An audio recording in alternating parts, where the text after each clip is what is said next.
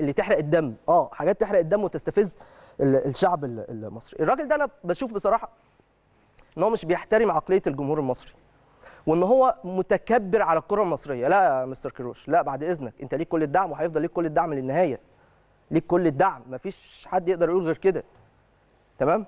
لكن أنت مش أكبر من الكره المصريه مش أكبر من الرياضه المصريه إحنا تاريخنا أكبر منك بكتير. ها؟ إحنا في مدربين مصريين كابتن حسن شحاتة ده ها؟ ربنا يديه الصحة. الراجل واخد ثلاثة كأس أمم ورا بعض. انت آه مرنت آه، مانشستر يونايتد كمدرب مساعد للسير أليكس فيركسون مش أكتر. رحت ريال مدريد قعدت إيه ست شهور ولا سنة خدت السوبر ال- ال- السوبر الإسباني ومشوك. حاجة تحسب لك ماسك فرقتين كبار جدا في العالم. أو واحد كمساعد وواحد كمدير فني. بس مالكش ألقاب كبيرة مالكش نجاحات كبيرة. خلينا نتكلم بموضوعية. اسم كبير بالمناسبة مدير فني مميز. أنا ما بقولش كلام غير كده. بس لما هتيجي تتكبر على الكرة المصرية لأ كل واحد يعرف بقى حجمه.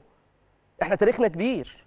الشعب المصري بيفهم في الكورة بيحب يتذوق آه، حلاوة الكورة. لكن ال- اللي هو بيعمله ده حاجة حاجة غريبة جدا جدا. زي- زيد بقى على كده إيه؟ النهارده الواحد فوجئ بتصريح للحاج فرج عامر اللي هو عضو مجلس إدارة الاتحاد المصري لكرة القدم. قال لك إيه؟ قال لك في شرط جزائي في عقد كروش سنة ونص. اللي هو عقد كروش كام بقى يا جماعة؟ حضراتكم فكروني يا جماعة. اللي هو 2 مليون يعني سنة ونص هو عقده في في الشهر آه، 130 ألف دولار. حلو. يعني السنة ونص ب 2 مليون وتل...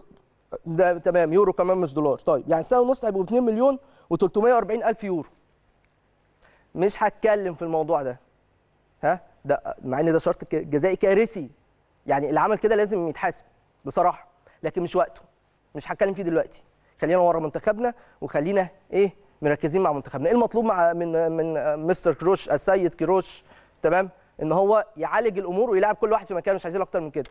وتشوف إزاي هتحل موضوع ال back أو الظهير الأيمن والظهير الأيسر اللي وقعوا منك. تمام؟ في حلول كتير جدا آه، مهمه سريع